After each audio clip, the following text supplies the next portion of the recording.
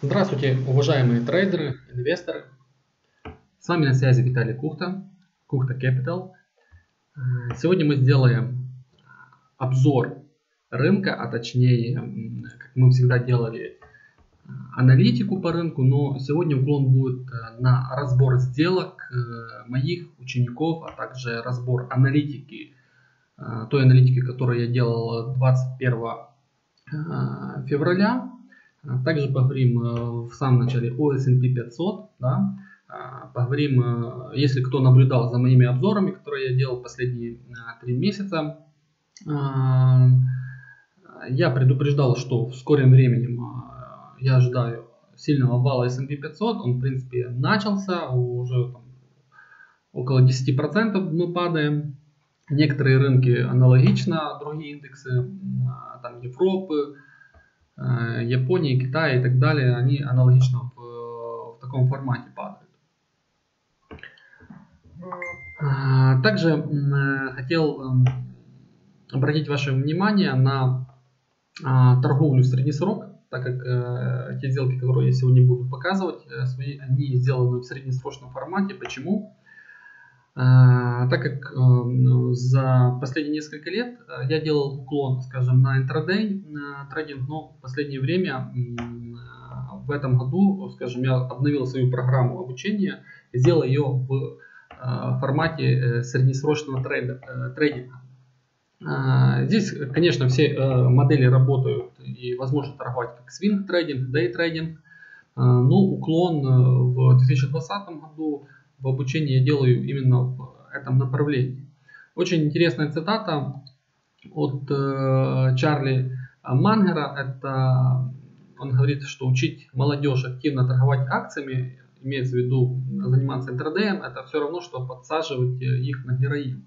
Э, кто такой Чарли Мангер? Э, это очень известный человек. Можете погуглить. Э, он работает на Уоррена Баффета, он э, вице-президент э, его управляющей компании, скажем, собственный капитал на сегодня 2 миллиарда долларов у него. Поэтому, скажем, на это стоит обратить внимание.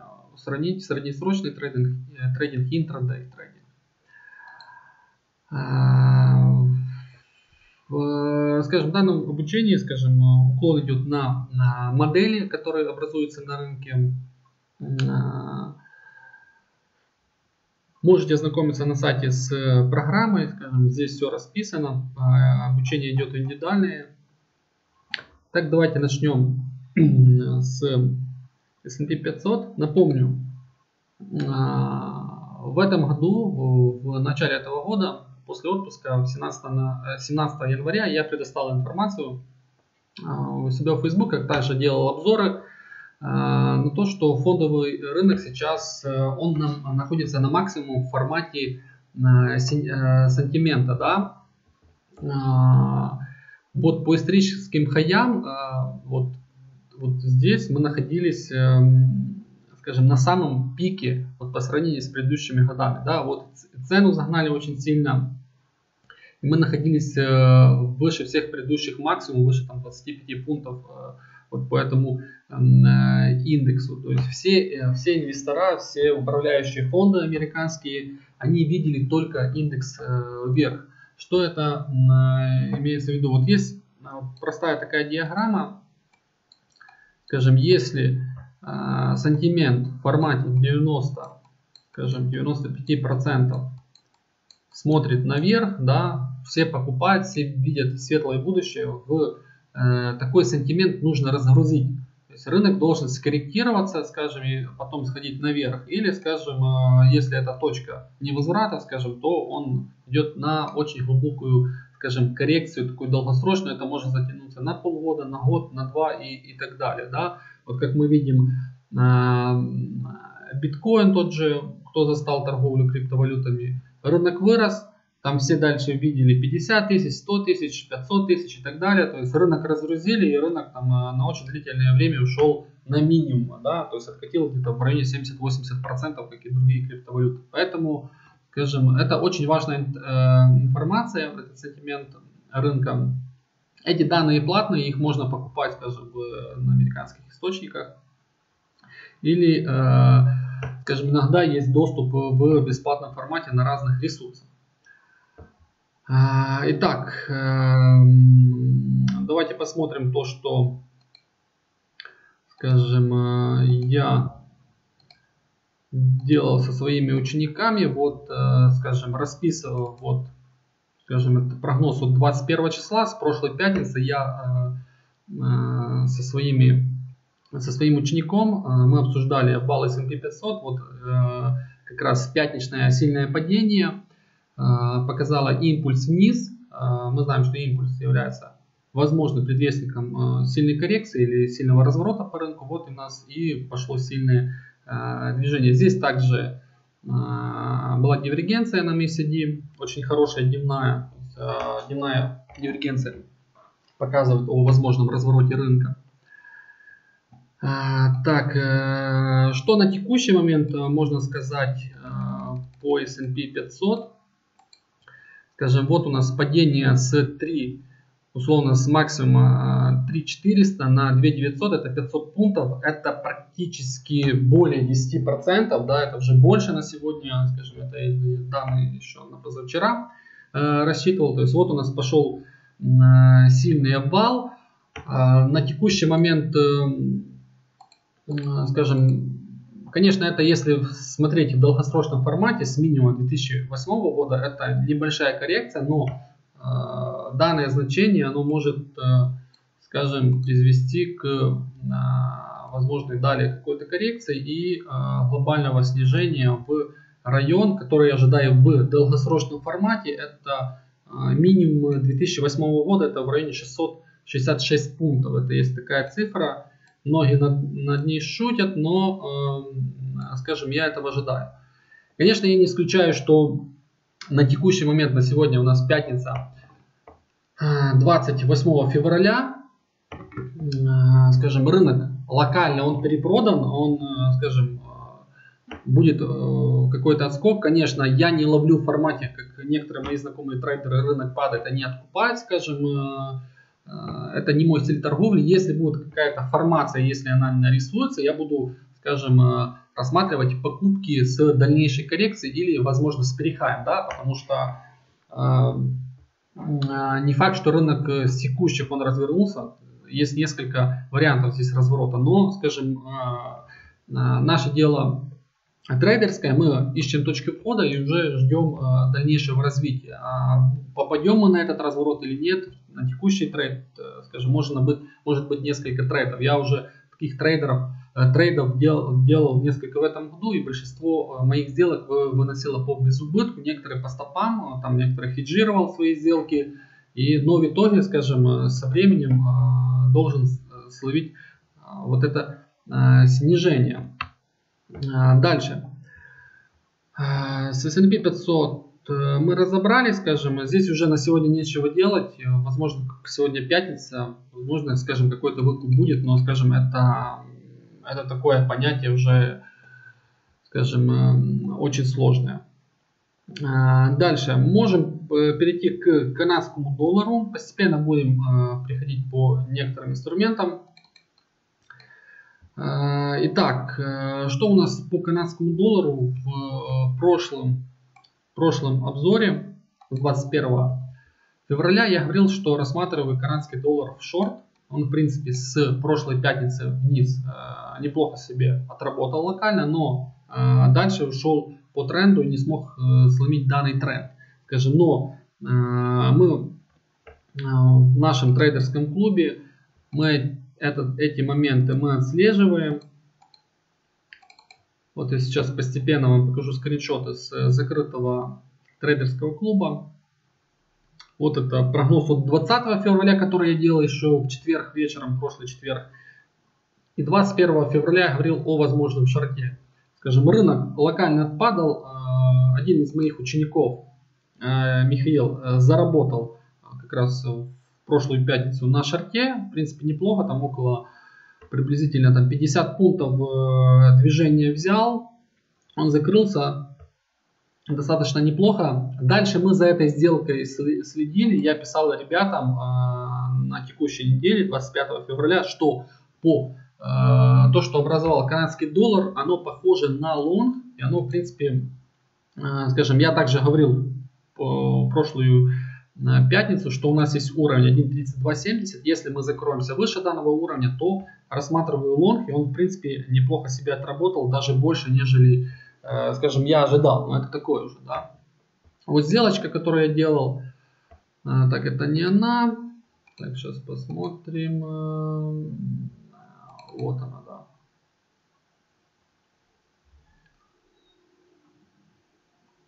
Это такие, скажем, э, свинг сделки небольшие, скажем, одна по стопою, скажем, я ребятам показывал, почему там логика э, входа, скажем, все описано в клубе ребятам, своими учениками описываю. То есть первый вход был, по безубытку вынесла, скажем, перезашел, так как все-таки ждал э, данного, рискнул, Конечно, момент был рисковый, но сделка себя отработала. На текущий момент, что возможно сказать э, по канадскому доллару, тренд у нас э, летит наверх. Э, на текущий момент формируется дивергенция на дневке, но точки входа в шорт на текущий момент нету. Я ее буду ожидать, если будет сигнал, я буду писать ребятам в закрытом клубе уже по факту действия, будет ли точка входа на разворот контра данного тренда, потому что мы, как видим, пошли хорошо по тренду. А, дальше. А, что интересного возможно сказать э, по фунту. Фунт э, на текущий момент застрял возле поддержки в прошлую пятницу.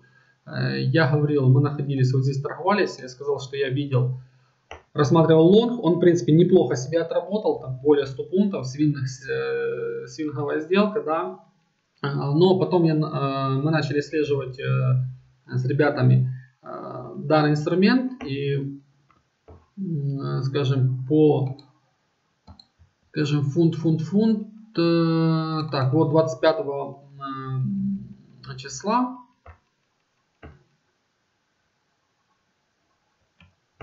Вот есть скриншот, скриншот с, скажем, закрытого клуба. А, я писал 25 э, февраля, что рассматриваю шорт. Он чуть-чуть ушел по-другому, я его не торговал, скажем, он чуть ушел с более глубоким выносом, но в итоге, как мы видим, фунт э, себя а, отработал. Идея как в лонг, скажем, э, с прошлой, с прошлой пятницы я писал, просмотрите прошлые обзоры. На, так и шорт идея отработалась, но чуть-чуть под, под другим соусом. И на текущий момент, что возможно сказать по фунту, удерживаем уровень поддержки в районе 1.2870. Если мы его сможем пробить, э, скажем, э, то у нас полет будет нормальный по данному инструменту. Мы будем падать э, в район 1.2770 и дальше 1.2580. Э, возможное падение. Альтернатива какая по фунту, если сегодняшняя дневка, скажем, или там уже на следующей неделе будет сильный выкуп где-то вот в этот район, да, то я рассматриваю там среднесрочный лог по данному инструменту. Но на текущий момент э, я вне рынка, возможно даже сегодня будут продавливать данный инструмент. Э, дальше.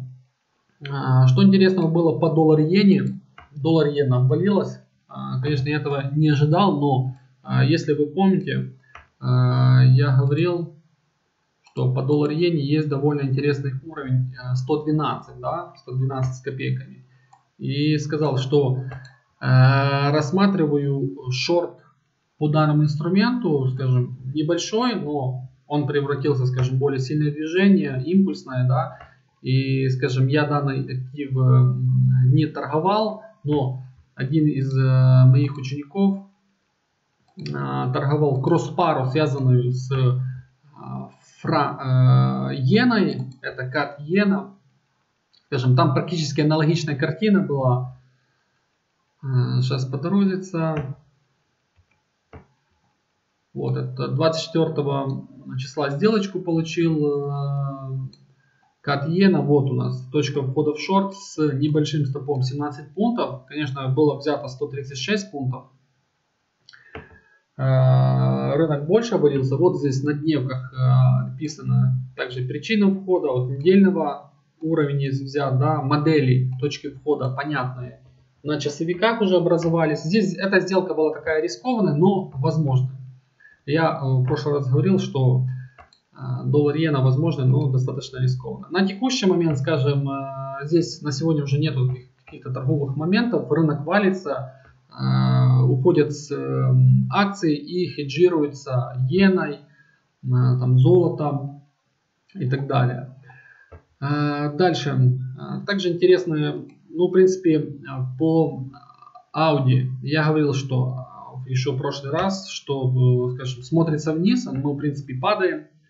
НЗД аналогично смотрится вниз э, и сегодня мы падаем, скажем, конечно, могут быть какие-то отскоки по данным э, инструментам мы подошли к, ну, по НЗД к историческим минимумам, ну, так скажем, минимум 2019 года. Здесь уже нужно наблюдать, что сформируется. Но на текущий момент э, ничего нету. То есть эти с прошлой пятницы, как сказал, что вниз будет э, падать, так мы и пошли. Так, просмотрели иенку, кат, фунт просмотрели. На нефть э, на текущий момент у нас э, пошла вниз. Я говорил, если ее смогут задавить вниз, то в принципе продолжится движение. И, как видим, был указан уровень 49.30. Пробили его, закрылись ниже, то есть пошел, пошел обвал. Те покупки, которые у меня были, а я часть зафиксировал, часть по безубытку. Конечно, э, скажем, ушел, шла прибыль в моменте без убыток, но, скажем, это рынок. А, дальше. А, что интересно можно по франку сказать? По франку. Говорил а, в прошлую пятницу. Если задавит, вот мы торговались в этом диапазоне, если э, рынок задавит цену вниз, но на откате мы берем. И в принципе, как видим, пошел обвал, и мы отработали вот, э, скажем, среднесрочные такие цели по данному активу и в принципе кто торговал данный актив это был это был один из моих учеников Алексей а, шортил Франко конечно он все движение не взял но какую-то прибыль а, прибыль сумел зафиксировать частями скажем вот точка входа так как я говорил скажем задавливаем цену вниз откат скажем, и движение один профит зафиксирован, и второй профит зафиксирован. То есть очень, очень хороший плюс. Конечно, кроме э, вот этих сделок, есть э, сделки учеников и убыточные э, несколько. Э, скажем, все мы не сможем на сегодня обсудить. Кому интересно, пишите, скажем, в личку. Мы в клубе обсуждаем эти сделки. Э, дальше на текущий момент по канадскому, э, по франку у нас что у нас? Э, ну, он пробивает минимум здесь, э, скажем, возможно дальнейший обвал, скажем, но нету набора по набора позиций, поэтому сейчас вне рынка по данному активу. Но мы можем дальше обвалиться. Также, ну, перейдем к, как я в прошлый раз еще отметил, что франк не такой интересный для большинства. Самый интересный актив это евро-доллар. А, напомню, а, я уже долгое время говорил и скальперски отбирал точку входа. Вот у нас а, и многим говорил. На недельном топфрейме у нас дивергенция уже длится полтора года или чуть больше с 2018 года, с августа. На минимумах в прошлую пятницу я говорил, что есть возможно рисковый момент войти, скажем, с небольшим стопом и ожидать сильного движения наверх. Оно, в принципе, произошло на текущей неделе. Мы отросли уже практически э, с уровня там, 250 пунктов. Вот это такой средний срок. Это, скажем, часть сделки я уже зафиксировал. У нас, возможно, скажем, э, и будет, возможно, движение большое на 1.15, на 1.20 и так далее. Возможно, даже и, скажем, в районе 1.25 потому что нужно разгрузить, э, разгрузить вот эту дивергенцию, которая образовалась. Да. Поэтому на текущий момент, ну, прямо на сегодня, э, точек входа по евро-доллару нету. Кто успел купить на минимумах, э, напомню, мы там переписывались в комментариях на ютубе. Я на выходных также отвечал, когда говорил в пятницу, что после образования хорошего импульса возможно покупать евро-доллар. Кстати, вот один из э, учеников, вот Алексей тот же, который франко торговал, и евро-доллар. Сейчас посмотрим.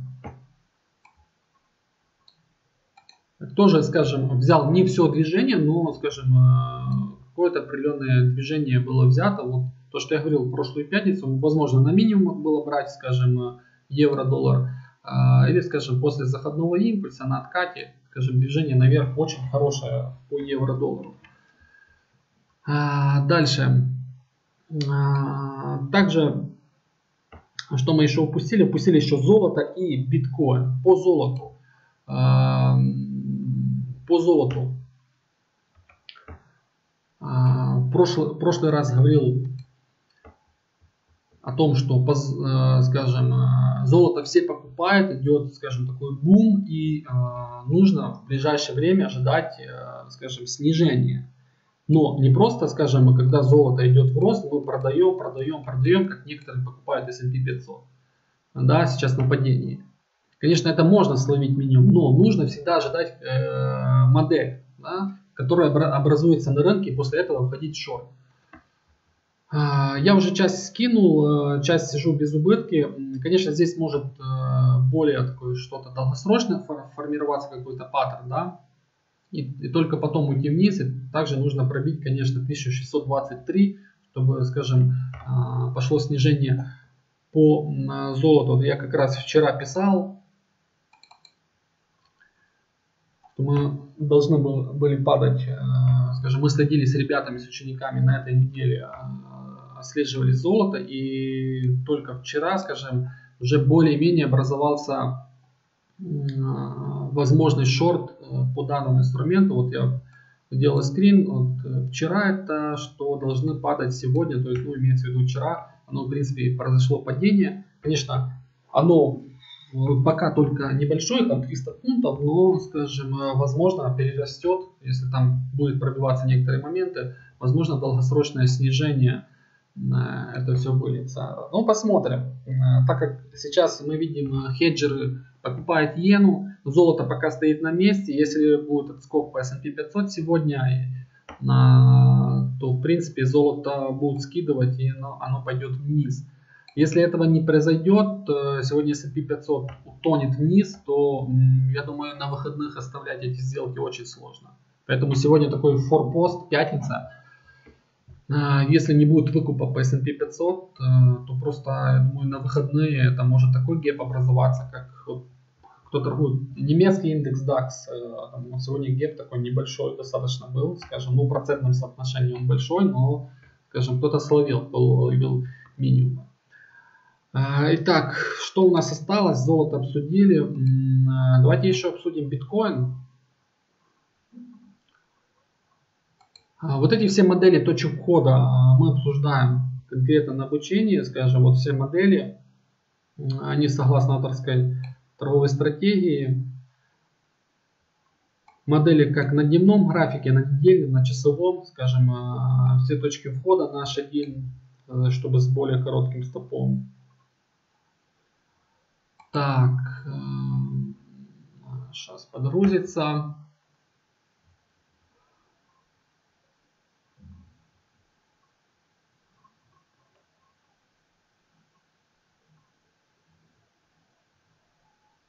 Ну вот краткий комментарий еще по Тесла, то, что говорил, что по Тесла это скорее всего пузырь. А, был прошлый заходной импульс. Здесь, конечно, коряво было, точек входа было такие локальные, какие-то супер точки входа, ну так скажу, как есть, не было, но, скажем, сама идея пока идет вниз, и ну, во что она превратится, ну, пока э, посмотрим, да, возможно, то, что я ожидал. Ну и по биткоину что могу сказать? А, в принципе, с прошлого обзора, с 21 говорил, что биткоин у нас смотрится или вот так в шок, или, скажем, вот в таком формате. Пошел э, второй, второй, второй вариант, мы это обсуждали с учениками, которые торгуют, э, скажем, криптовалюту. которые обучаются на криптовалюте, скажем, в принципе, у нас произошло движение вниз. На текущий момент возможно дальнейшее снижение. В принципе, вчера как раз с учеником обсуждали вот этот момент, он писал, что видит шорт, оно в принципе идет по чуть-чуть, но скажем, ну посмотрим, скажем, во что это превратится или дальнейшее падение, скажем, посмотрим, как сегодня дневка закроется скажем, всегда нужно ждать на рынке э, набора позиций, как было вот здесь по биткоину. Вот очень хороший. Здесь уже такой маленький и в принципе он сегодня локально падает. А, дальше. Ну, в принципе, все. А, также, в принципе, вот напомню вот, э, со всех картинок, которые я делал, также можно было заработать на индексе страха, вот, если кто помнит, кто смотрел все обзоры, те смотрит, э, также кто подписан в Фейсбуке на меня, э, я раньше говорил еще в начале этого года, что индекс страха волатильности находится на минимумах в районе там, 12 пунктов, он уже долгое время здесь, здесь была очень хорошая долгосрочная модель на разворот, поэтому я также это а, доводил как к возможному развороту S&P 500. Да? индекс волатильности удерживал минимум, э, S&P чуть-чуть обновлял хаи, но в итоге, скажем, вот что, во что превратилось э, с уровня 12, сейчас посмотрим, вот смотрите, Уменьш... так, уменьшаем, уменьшаем, уменьшаем, уменьшаем, смотрите, да? то есть с 12 на 26 это на сегодня это практически 100% движения, это если с плечом брать, да, вот э, есть ETF, торговли по э, индексу волатильности, там третье плечо есть ETF, допустим, это можно с 300% сделать там в течение месяца-двух, скажем. Вы никогда не сделаете, скажем, э, это на интрадей торговле или на других форматах. Поэтому, конечно, нужно иметь и железные бейцы, да, чтобы торговать, потому что вот как раз на днях переписывался с одним трейдером, который покупал VIX, скажем, не выдержал эту покупку. Это, конечно, это нормально, когда э, есть страх и жадность на рынке. Можно, скажем, страх может помешать заработать, а жадность может, э, скажем, погубить трейдера. Поэтому это нужно, скажем, э, нужно очень адекватно торговать. Ну, здесь с короткими стопами возможно было входить, скажем, такое движение очень хорошее. Вот данную модельку я уже описывал очень долго, скажем, согласно торговой стратегии, здесь очень хороший был. Такие они не часто встречаются, поэтому на рынке нужно ловить моменты, потому что, а, скажем, а, не всегда будут такие хорошие возможности на рынке. А, в принципе, на этом закончим. Будут вопросы, пишите по среднесрочной торговле. Также, также были вопросы в прошлых комментариях по закрытому трейдерскому клубу. А, вся информация есть на сайте, если будут дополнительные вопросы, пишите. Всегда обсуждаем а, торговые рекомендации, обмениваемся опытом, разбор полетов, а, скажем, поддержка наставника. Это все есть в нашем закрытом клубе, поэтому пишите. Всегда буду рад помочь.